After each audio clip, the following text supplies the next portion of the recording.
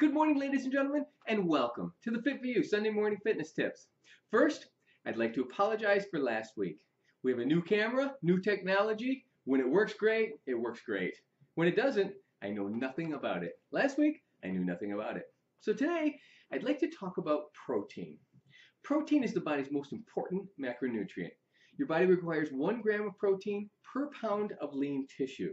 Not per pound of body weight, but per pound of lean tissue.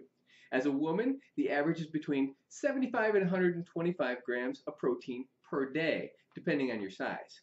Men will range anywhere from 150 grams up to 225 grams and more per day. But your body can only utilize so much protein per meal. A woman can utilize about 15 to 30 grams per meal, while a man can utilize 25 to 50 grams per meal, again, depending on your size. So if you're a woman trying to reach 100 grams of protein per day, you would need five meals with 20 grams of protein per meal to reach and utilize 100 grams. Okay, so now it gets even a little more confusing because you must consume complete proteins for your protein to be effective, meaning your protein must contain all nine essential amino acids or it's not considered a complete protein.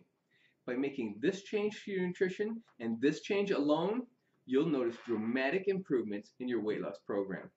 Does that sound confusing? Well, it certainly can. That's what we're here for. At Fit4U, this is all done for you. Let us help you determine how much protein you need, when you should have it, how much per meal, and which ones are best. Remember, our most successful clients have mastered simple. So if you want to set, have a program set up for you, specifically for you, go back to this original email and click on the link. We'll get back to you as soon as we can. So thank you so much for coming. That's another complete tip from Fit for You Health Club. Have a great Sunday, and God bless.